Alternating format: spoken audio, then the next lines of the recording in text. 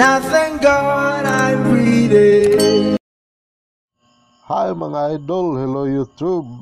Eto na naman tayo, RPW Vlog Remix. At kung sino mang hindi pa nakasubscribe and visit sa aking channel, please lang po pakipress ang like and hit na po ninyong notification bell para po updated kayo sa mga bago kong video na i-upload dito mga idol.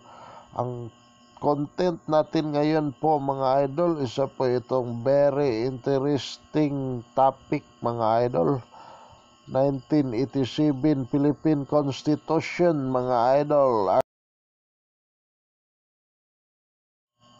The national territory comprises the Philippines archipelago with all the islands and waters embraced therein, and all other territories over which the Philippines has sovereignty or jurisdiction, consisting of these terrestrial, fluvial, and aerial domains, including its territorial sea, the seabed, the subsoil, the insular shelves, and other submarine areas.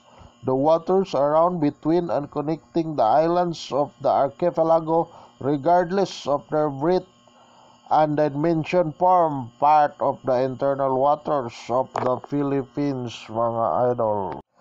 At yun na po ang definition sa national territory, mga idol. At kung sino mang gusto sa ganitong klaseng mga content, idol, please lang po paki-comment. At maraming salamat sa inyong lahat sa panonood. Bye-bye.